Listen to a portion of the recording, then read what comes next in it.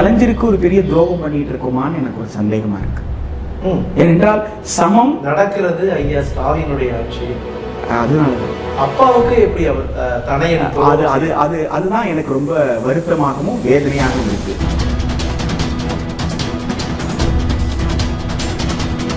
இந்த மாதிரி பள்ளி அப்படின்றதெல்லாம் பெயர் மாற்றம் தான். ஆனா பழைய கல்லு தான் புதிய முந்தை இது பிஎம் ஸ்ட்ரீட் பள்ளி அதாவது ஒன்றிய அரசு கொண்டு வந்திருக்கக்கூடிய தேசிய கல்விக் கொள்கையை தான் ஐயா ஸ்டாலின் வந்து வேறொரு பெயரை மாற்றி இல்லை வேற ஒரு ஸ்டிக்கர் ஒட்டி இங்கே அப்ளை பண்ணிட்டு இருக்கிறாரு மற்றபடி இவர் வந்து நிறைவேற்றுவது எல்லாமே மாநிலத்திற்கான கல்விக் கொள்கை அல்ல தேசிய கல்விக் கொள்கையை தான் நிறைவேற்றுறாருன்னு சொல்றாங்க. தேசிய கல்விக் கொள்கையை ஏன் எதிர்க்கிறோம் என்ற புரிதல் ஆட்சியாளர்களை தொடங்கி எல்லாருக்குமே தேவைப்படும்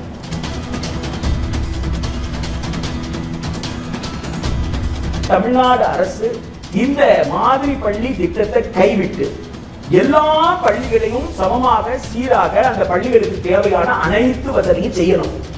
அப்போ ஒன்றிய அரசு கிட்ட இருந்து உங்களுக்கு சவால் வரும் தான் ஒன்றிய அரசு நிதி கொடுக்காதுதான். ஒன்றிய அரசு பல்வேறு இந்த இந்த கட்டுப்பாட்டுக்குள்ள நீ வரணும் அப்படின்னு சொல்லுவாங்க. அப்ப நீங்க என்ன சொல்லணும்? நீ நிதி கொடுக்கலன்னா கல்விக்காக சிறப்பு வரிய நான் என் மக்கள் கிட்ட வாங்குவேன்.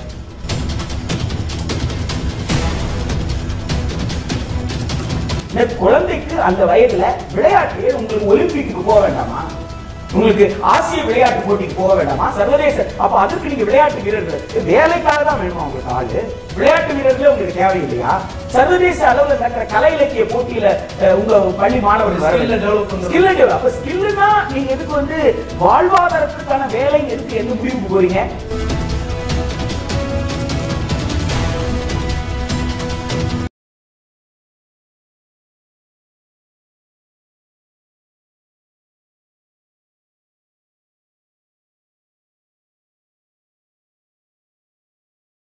தமிழர் அரசியலின் தனித்துவம் காணும் வளரி நேயர்கள் அனைவருக்கும் அன்பு கலந்த வணக்கம்.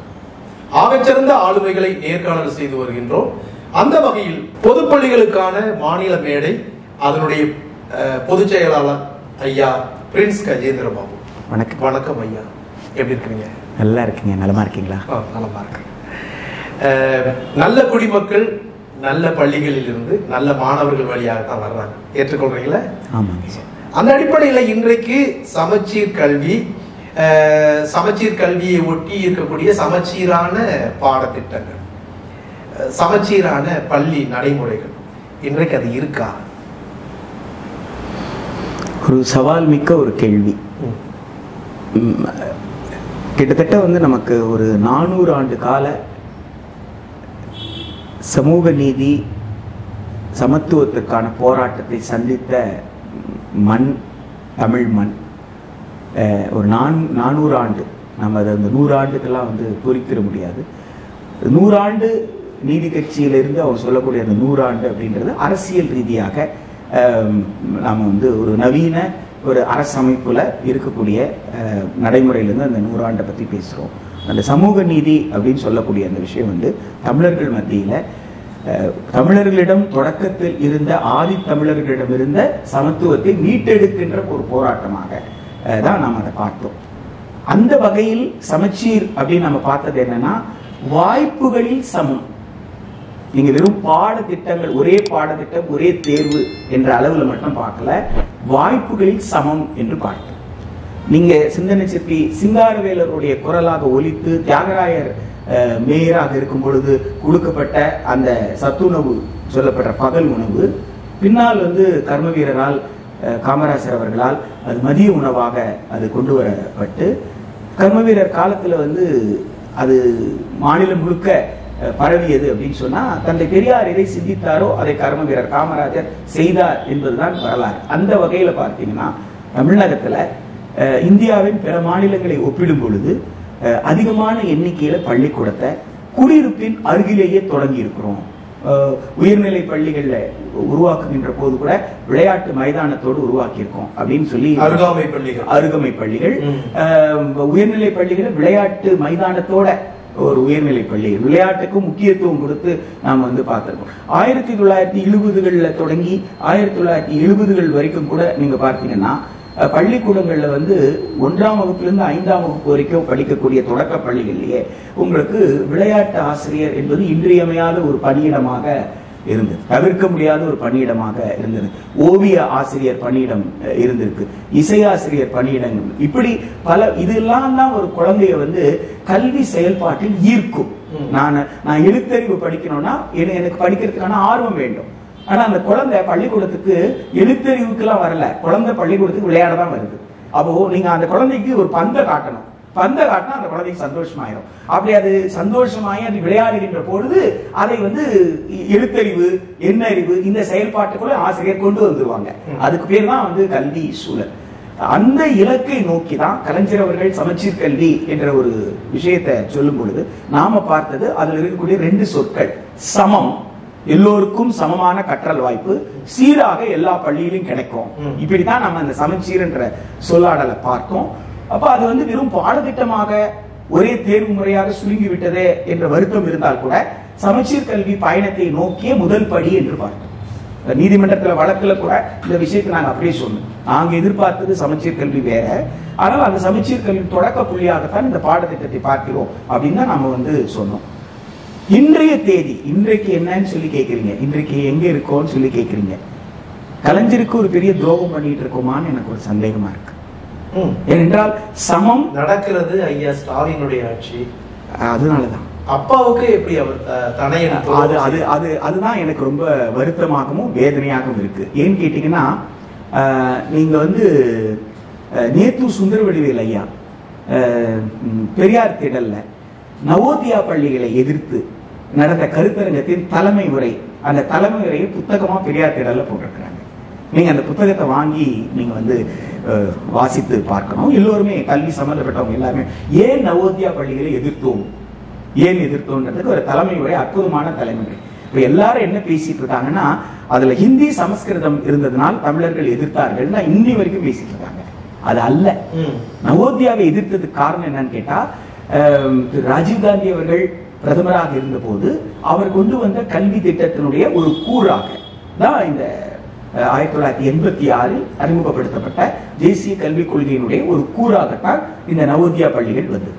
அப்போ அந்த காலம் நாற்பத்தி ஆயிரத்தி தொள்ளாயிரத்தி எண்பத்தி ஆறுன்னு சொல்லும்போது நாற்பத்தி ஏழு சுதந்திரம் அப்படின்னு எடுத்தீங்கன்னா ஒரு நாற்பது ஆண்டுகள் கழித்து சுதந்திரம் கிடைச்சு ஒரு நாற்பது ஆண்டு கழித்து ஒரு திட்டத்தை நீங்க அறிவிக்கிறீங்கன்னா அப்போ சமமான கற்றல் வாய்ப்பு எல்லோருக்கும் கொடுக்காம மாவட்டத்திற்கு ஒரு மாதிரி பள்ளி தானே நவோதியா? அப்போ மாவட்டத்திற்கு ஒரு மாதிரி பள்ளி அதுல சில நூறு பிள்ளைங்க படிப்பாங்க. அந்த சில நூறு பிள்ளைகளுக்கு பல கோடி ரூபாய் நீங்க செலவு செய்றீங்கன்னு சொல்றீங்களே அந்த பல கோடி ரூபாவை எல்லா பள்ளிக்கும் சமச்சீராக நீங்க பிரித்து கொடுங்க. எல்லா பள்ளியிலும் எல்லா வசதியும் செஞ்சு கொடுங்க. இப்படி ஒரு மாதிரி பள்ளி ஒரு மாவட்டத்திற்கு என்று அறிமுகப்படுத்துவதை ஏற்றுக்கொள்ள முடியாது. ஜனநாயகத்திற்கு எதிரானது சமத்துவத்திற்கு எதிரானது என்பதுதான் நவோதியாவை நாம் எதிர்த்ததற்கு மிக முக்கியமான காரணம். இன்றைக்கு நம்ம பள்ளி கல்வியில என்ன பார்க்கிறோம்னா அரசு பள்ளி இருக்கு. அரசு பள்ளியில ஒரு சில பள்ளிகளை மாதிரி பள்ளின்னு அடையாளப்படுத்துறோம். அதுல ஒரு சில பள்ளிகளை தகைசால் பள்ளின்னு அறிமுகப்படுத்துறோம். அப்போ மாதிரி பள்ளி அப்படின்னு சொல்லும் பொழுதும் தகைசால் பள்ளின்னு சொல்லும் பொழுதும் நீங்க என்ன சொல்ல வரீங்கன்னு கேட்டா ஆகச் சிறந்த ஆசிரியர்கள் அங்கே இருப்பார்கள். கல்வியின் மீது மிகப்பெரிய ஆர்வம் கொண்ட மாணவர்கள் அங்கே இருப்பாங்க. அங்க இந்த மாணவர்கள் எத்தகைய தேர்வு முறையும் எதிர்கொள்ளக்கூடிய அனைத்து திறன்களை பெற்றவர்களாக வருவதற்கான சூழலை நாங்க உருவாக்கி கொடுப்போம் அப்படின்னு சொல்றீங்க. இது ஒரு பாகுபாடு கொண்ட சமூக கட்டமைப்புல. மிக நியாயம்தான். எல்லாருக்குள்ளயும் வெள்ள மூளை தான் இருக்குது. வாய்ப்பும் வசதிகளும் கொடுத்தாச்சுன்னா அவர் யாரா இருந்தாலும் வெளியேற முடியும்ல. ஆமா. இப்போ ஒரு குறிப்பிட்ட பிரிவினருக்கு மட்டுமே ஒரு மாதிரி பள்ளின்னு அமைக்கும் பொழுது இங்க சமமோ சீரோ இருக்கா? அதுதான் அங்க வந்து ஒரு மிகப்பெரிய ஆபத்துல போய் முடியுது. ஏன்னா பெரும்பகுதி மக்கள் எங்க படிக்க போறாங்க? அரசு பள்ளியில் படிக்க போறாங்க. அவ பெ- அரசு பள்ளின்னு சொன்னீங்கன்னா மாநகராட்சி பள்ளி உள்ளிட்ட எல்லா பள்ளிகளும் உள்ளடங்கும். ஆதி திராவிடர் நலத்துறை நடத்துற பள்ளி சீர்பரப்பினர் பள்ளி அரசு உதவி பெறும் பள்ளியும் சேர்த்துக்கலாம். அரசு உதவி பெறும் பள்ளியும் சேர்த்துக்கலாம். அரசு பள்ளி அரசு உதவி பெறும் பள்ளியில மாணவர்களுடைய தன்மை அதாவது அவர்களுடைய பொருளாதார நிலை சமூக நிலையெல்லாம் மிகப்பெரிய வித்தியாசம் எல்லாம் கிடையாது. நீதியரசர் கலையரசனுடைய அறிக்கையில அது தவறாக வந்து அந்த புரிதல் ஏற்படுத்தப்பட்டது. அரசு பள்ளிக்கும் அரசு உதவி பெறும் பள்ளிக்கும். அது வந்து ஒரு நியாயமில்லாத ஒரு ஒரு அறிக்கையில் இருக்கக்கூடிய சில விஷயங்கள். அது அப்படியே தொடர்கிறது என்பது ஒரு வருத்தமானது.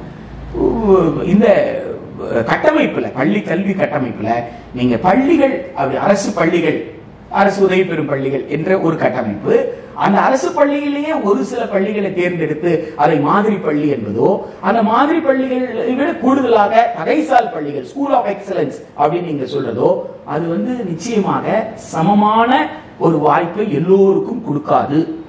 அப்போ இந்த மாணவர்கள்ல இருந்து கொஞ்சம் பேரை நீங்க தேர்ந்தெடுத்து அங்க அனுப்ப போறீங்க. அதே மாதிரி ஆசிரியர்களையுமே இங்க சிறப்பான ஆசிரியர்கள் அங்க கொண்டு போய் நியமிக்கிறீங்க. அப்ப இங்க ஏற்கனவே இருக்கிற ஆசிரியர் யார்? அந்த பணியிடம் வெற்றி வெற்றி பணியிடத்தை எப்படி நிரப்புவது? அதாவது அவர்கள் இங்க இருக்கிற ஆசிரியர்களையும் எடுக்கிறாங்க. இங்க இருக்கிற நல்ல ஆசிரியர்கள் எடுக்கிறாங்க.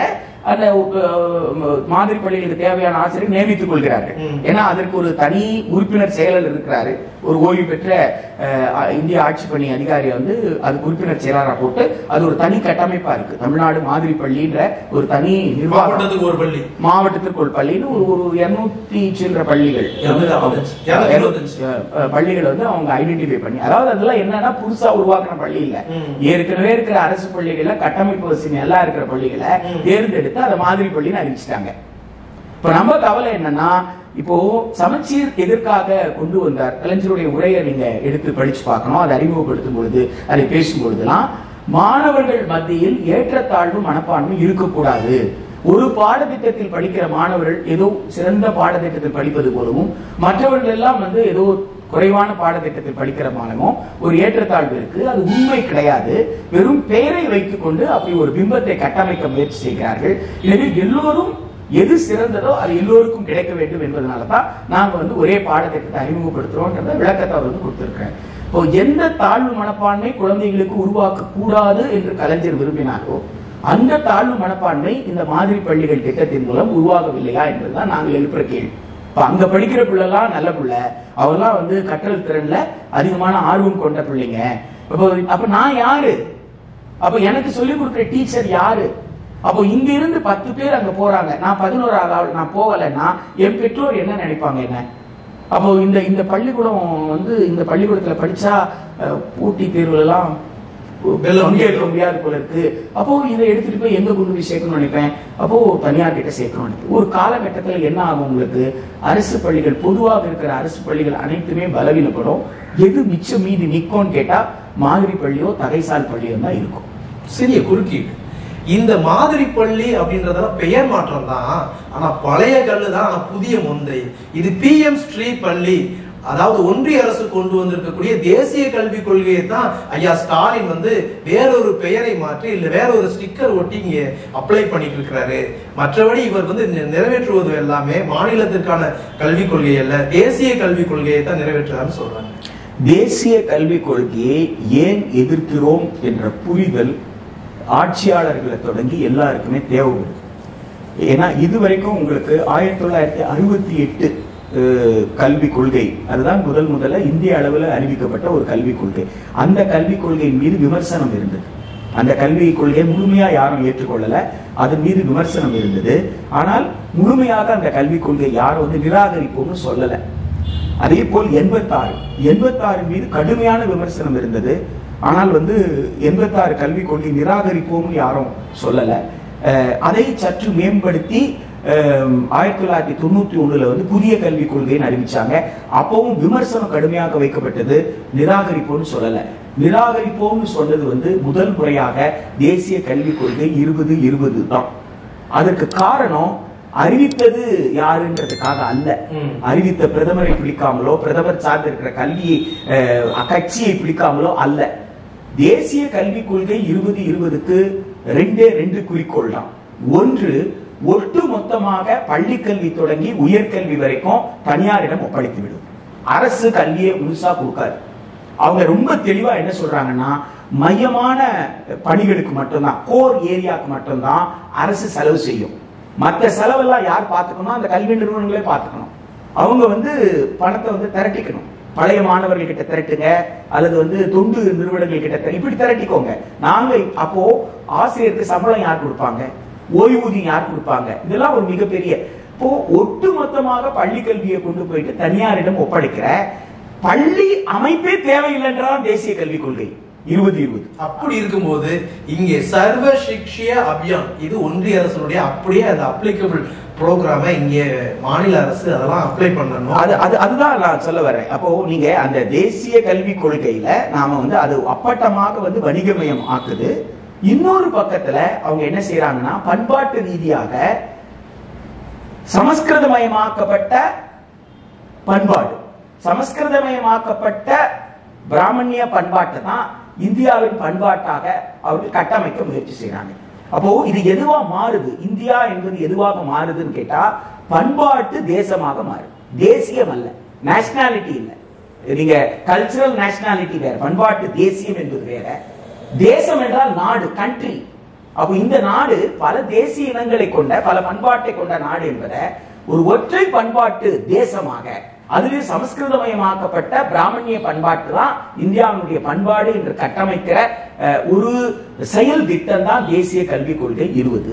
அதனால தான் அதை நிராகரிக்கிறோம் சொல்லுவோம் அப்போ சனாதனத்தினுடைய ஒரு வடிவம்னு நம்ம அதை டிஃபைன் பண்ணிட்டோம்னா ஏற்றத்தாழ்வுகளை உருவாக்கக்கூடிய இந்த கல்வி மாதிரி பள்ளி இன்னும் மற்ற பள்ளிகள்லாம் இயல்பான பள்ளிகள்ன்ற போல இந்த ஏற்றத்தாழ்வுகளை உருவாக்குவது ஸ்டாலின் சனாதனத்தை வழிமொழிகிறாரா? அதுதான் நாம வந்து இந்த அரசு என்ன புரிந்து கொள்ளணும்னா இங்க மாதிரி பள்ளி ஸ்டார் ஸ்கூல் ப்ரோக்ராம்னு தமிழ்நாட்டில் முன்னாடியே இருந்தது.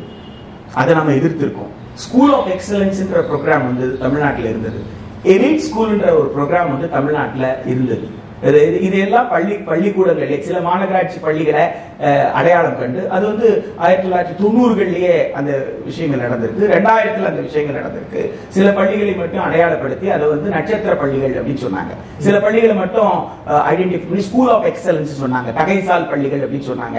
அஹ், அதுக்கப்புறம் எலைட் ஸ்கூல் அப்படின்னு சொன்னாங்க. அதாவது இந்த தகைசால் பள்ளிகளை போல இந்த பள்ளிகள் ஆகச் சிறந்தமா இது எல்லாமே தவறு இப்படி செய்யக்கூடாதுன்னு சொல்லிட்டு வந்தோம். இன்றைக்கு தேசிய கல்விக் கொள்கையில அவங்க பிஎம்ஸ்டி ஸ்கூல் எதுக்காக சொல்றாங்க? பிஎம்ஸ்டி ஸ்கூல் அப்படின்னு சொல்றது மா- மாவட்டத்திற்கு அல்லது வந்து ஒரு வட்டத்திற்கு ஒரு மண்டலத்திற்கு ஒரு அது மாநிலங்கள் தீர்மானித்துக்கலாம். எத்தனை பள்ளிகள் வேணும் அந்த பள்ளிகளை அவங்க ரொம்ப தெளிவா அந்த வலைதளத்துல போய் பாத்தீங்கன்னா இது ஆகச்சிறந்த பள்ளி.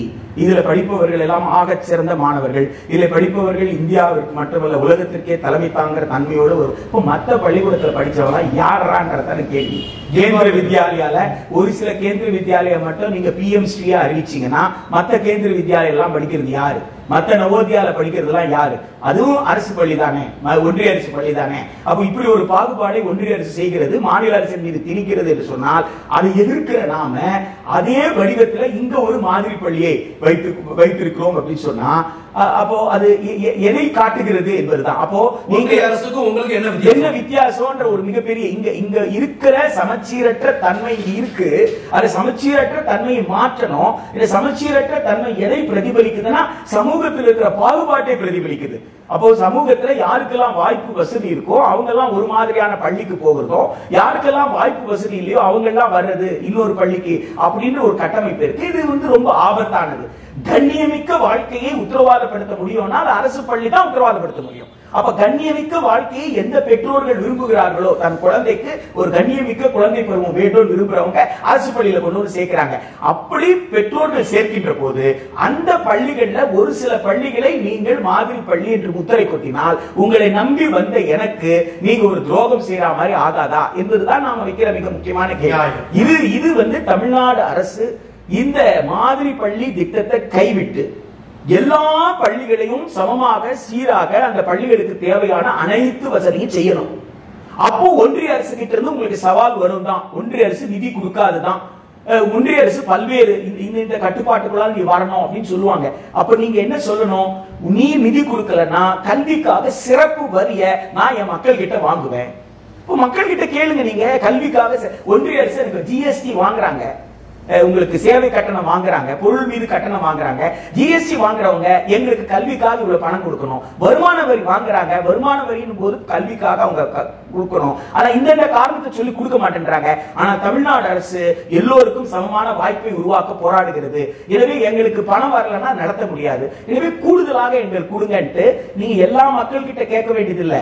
உங்களுக்கு ஆடம்பரமாக திருமணம் நடக்குது இல்ல ஆடம்பரமான விளையா விழாக்கள் நடக்குது இல்ல அந்த கேளிக்கைகள் அந்த ஆடம்பர விழாக்கள் ஆடம்பரமாக பல கோடி ரூபாய் பல லட்சம் ரூபாய் செலவு செய்து நடத்துற அந்த திருமணங்கள் இங்க வந்து நீங்க கை வைக்கலாம்ல? ஆமா கல்விக்கான வரியை நீங்க வசூல் செய்யலாம். கார்ப்பரேட்டுகள் கிட்ட லாபம் ஈட்டக்கூடிய நீங்க சிஎஸ்ஆர் வாங்குங்கன்றீங்க. கார்ப்பரேட் சோசியல் ரெஸ்பான்சிபிலிட்டியில ஒவ்வொரு நிறுவனத்திற்கும் வர்த்தக நிறுவனத்திற்கும் சமூக பொறுப்பு இருக்கு. எனவே அந்த வகையில கொஞ்சம் பணத்தை வந்து சமூகத்துக்கு ஒதுக்குங்க. நீங்க கெஞ்சுறீங்க. ஏன் கெஞ்சுறீங்க? அவங்க கிட்ட உபரியா இருக்கிறதுனால தானே சிஎஸ்ஆர் ஃபண்ட் ஒதுக்குறான். அந்த உபரியில நீங்க வரிய போடுங்களேன். கல்விக்குன்னு வரிய கொடுன்னு சொல்லி கேளுங்க. தமிழ்நாட்டுல இருக்கிற எல்லா வர்த்தக நிறுவனங்களும் அவங்களோட லாபத்துல அவங்க வந்து இவ்வளவு வரிய கொடுக்கணும். கேளுங்க. யார் கொடுக்க முடியாதுன்னு சொல்லுவாங்க. கல்விக்காக யார் கொடுக்க முடியாதுன்னு சொல்லுவாங்க. எனவே ஒன்றிய அரசு நெருக்கடி கொடுக்குதா? மாநில அரசுக்கெல்லாம் கொடுக்குது. தமிழ்நாடு மாத்திரம் இல்ல கேரளாவும் அந்த நெருக்கடியை சமா சமாளிக்க வேண்டிய சூழல் இருக்கு. பல மாநிலங்கள்ல அந்த நெருக்கடியை சமாளிக்க வேண்டிய அவசியம் இருக்கு. அப்ப அந்த நெருக்கடி எதிர்கொள்ளணும்னு சொல்றேன். தமிழ் எதிர்கொள்ளுதா? அப்படின்னு ஒரு கேள்வி வரும்போது இந்த இஎம்ஐஎஸ் எமிஸ்ன்ற இந்த ஸ்கீம் இதெல்லாம் ஒட்டுமொத்தமா பா- பார்த்தா ஒன்றிய அரசுடைய கைப்பாவையாக இந்த தமிழ்நாடு அரசு மாறிடுச்சு. ரெண்டு தளத்துல இருந்து அதை யோசிக்க வேண்டியது இருக்குங்க. ஒண்ணு வந்து தொழில்நுட்பத்தினுடைய வளர்ச்சியும் தொழில்நுட்பத்தினுடைய வளர்ச்சியினுடைய விளைவாக ஒரு மாணவர் விடுபட் விடுபடாமல் போவதற்கு ஒரு பள்ளியில படித்துக் கொண்டிருந்த மாணவர்கள் விடுபடாமல் போவதற்கு அவர்களை தொடர வேண்டிய அவசியம் இருக்கு. அப்படி தொடர்வதற்காக இது இஎம்ஐஎஸ் சொல்றது ஒன்றிய அரசு எல்லாம் கொண்டு வந்து அவங்க மூலையெல்லாம் உதிக்கல அது ஐக்கிய நாடுகள் சபை சொன்னது. ஐக்கிய நாடுகள் சபை இப்படி ஒரு ரெக்கார்ட் வைக்கணும். இப்போ அதை யாரெல்லாம் அக்சஸ் பண்ண முடியும்னா சர்வதேச அளவுல உங்களுக்கு கல்வி தொடர்பாக ஒரு தகவலை வேணும்னா இஎம்ஐஸ்ல இருந்து யார் வேணாலும் எடுத்துக்கலாம். அப்ப அதை எடுக்கலாம். டேட்டா எடுக்கலாம். அப்போ எது அது அது எதுக்காக அந்த டேட்டாவை அவங்க எடுக்கிறாங்கன்னா ஒரு நாட்டுல கல்விக்காக எவ்வளவு செலவு பண்ணியிருக்காங்க எல்லா குழந்தைகளும் படிக்குதா குழந்தைகள் வந்து விடுபட்டு இருக்கா ஏன் விடுபட்டு இருக்குன்னு அனலைஸ் பண்றதுக்காக எடுக்கிறாங்க. அப்போ இதுல இன்னொரு ஆபத்து என்ன இருக்குன்னா குழந்தைகளுடைய தனிமை பிரைவசி காம்ப்ரமைஸ் ஆகுமா அப்படின்ற ஒரு ஆபத்து கூட உங்களுக்கு கிளவுடுக்குள்ள எது போயிடுச்சுனாலும் உங்களுக்கு வந்து இல்ல அப்படிதான் கேள்வி கேக்குறாங்க. இப்ப சிஇஓவா இருக்கட்டும் டிஓவா இருக்கட்டும் ஒரு ஆசிரியரை பார்த்து ஏன் இந்த பள்ளி இடைநிற்றல் நடந்திருக்கு டிராப் அவுட் ஆயிருக்குது ஏன் இந்த குழந்தை வந்து இவ்வளவு நாளா பள்ளிக்கு வரல? அது அது? அதுதான் சொல்றேன். அது அந்த அந்த தொழில்நுட்பம் இதுக்காக பயன்படுதுன்னு சொன்னா அது எதற்காகன்னு கேட்டா இந்த குழந்தைங்க விடுபடாமல் இருக்கணும். இந்த பள்ளிக்கூடத்தை விட்டு போயிட்டாங்க அல்லது இந்த பள்ளிக்கூடத்துக்கு வரல அப்படின்னா அந்த குழந்தை எங்க இருக்கிறான்னு எனக்கு தெரியணும். பள்ளிக்கு தெரியணும். அந்த குழந்தை இன்னொரு பள்ளியில போய் சேர்ந்துட்டான்ற உத்தரவாதத்தோட தான் நான் மாட்டுச் சான்றிதழ் கொடுக்கணுமே தவிர நான் வந்து அந்த குழந்தைக்கு ஒரு மாட்டுச்சான்று கொடுத்து அனுப்பிச்சிட முடியாது என்பதுதான் அந்த இஎம்ஐஎஸ் நோக்கம். அந்த நோக்கத்தை நிறைவேற்றுறதுக்கு நீங்க இஎம்ஐஎஸ் வந்து நீங்க பயன்படுத்தலாம். ஆனால் அந்த இஎம்ஐஎஸ் பணியை வந்து நீங்க ஆசிரியர்கள் கிட்ட கொடுக்கறதுன்றது நியாயம். டேட்டா கலெக்டிங் ஆபீசர் மாறி போகுது. இப்போ அவங்க புதுசா இப்ப சமீபத்துல என்ன பண்ணிருக்காங்கன்னா அதற்கு சரியான நபர்களை வந்து நியமிக்கிறாங்க. அப்ப நாம என்ன கேட்கறோம்னா அது அரசு ஊழியரா நியமிங்கன்றோம். அது வந்து கான்ட்ராக்டா நியமிக்காதீங்க. அது வந்து அவுட் சோர்ஸ் பண்ணாதீங்க. ஒரு ஒரு நிறுவனத்திடம் கொடுத்து அந்த நிறுவனத்தின் மூலமாக அல்லது வந்து அவர்கள் இடைக்கால ஊ- ஊழியர்களாகலாம் நீங்க நியமிக்காதீங்க. நீங்க நிரந்தர பணியிடமாக உருவாக்கி அந்த நிரந்தர பணியிடத்துல அவங்க உட்கார வைங்க. இன்னும் சொல்ல போனா கணினி ஆசிரியர்கள். கணினி ஆசிரியருக்கு உண்டான ஆசிரியர் தகுதி பெற்ற கணினி ஆசிரியர்கள் இருக்காங்க. அப்ப கணினி ஆசிரியர் வந்து நிறைய பாட வேலைகள் அவங்க கிடையாதுன்னு சொல்லும் பொழுது அவங்க கணினி ஆசிரியர் பாட வேலையில அவங்க கணினி ஆசிரியர் பாடத்தை எடுப்பாங்க. மீதி நேரத்தில் அவங்க கணினி சம்பந்தப்பட்ட அரசுக்கு தேவையான இந்த ஆவணங்களை பராமரிப்பாங்க. என்ற அளவுல கூட அந்த பள்ளி கல்வியை பொறுத்த வரைக்கும் அதை செய்யலாம். அப்படியான முயற்சிகள் அரசு செய்ய வேண்டுமே தவிர அதை வந்து ஒரு வெறும் தகவல் தகவல் வாங்கி வச்சுக்கிறேன் அப்படின்றது அல்ல. அந்த தகவல் வாங்கினதுக்கு அப்புறம் அந்த தகவலை பின்தொடரணும்ல. அந்த குழந்தைகளுக்கு தேவையான ஒரு ஆதரவு நிலையை உருவாக்கணும்ல. ஒரு குழந்தை வந்து எழுத்தறிவு இல்ல சிக்கல் இருக்கு அப்படின்னு சொன்னா அந்த எழுத்தறிவை சரி செய்வதற்கு என்ன ஆதரவு நிலை? அப்போ ஆசிரியர்களுக்கு வேற பணி கொடுக்காம இதை மட்டும் கவனி. கற்றல் கற்பித்தலை மாத்திரம் கவனி. வேற பணிகளுக்கு போகாத.